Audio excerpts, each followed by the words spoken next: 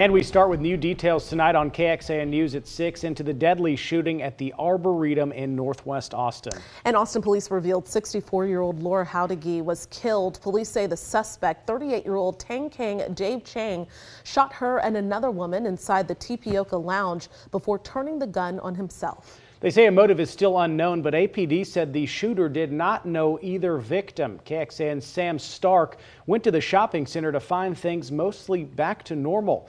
An almost full parking lot, people shopping and dining. An almost full parking lot, people shopping and dining. One might think it a typical day at the Arboretum in North Austin. It looks like everything's normal unless you walk over there and you see the boarded up windows and the officers standing outside. Thursday afternoon, shots rang out at one of the businesses. Two people died and one person taken to the hospital in critical condition.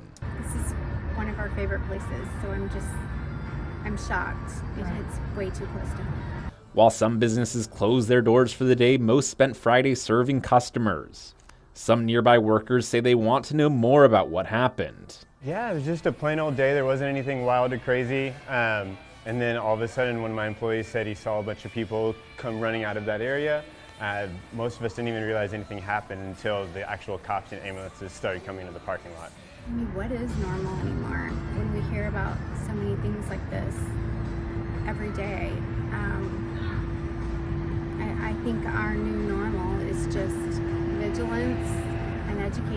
Children about, you know, how to stay safe and uh, watching their environment. Sam Stark, KXAN News.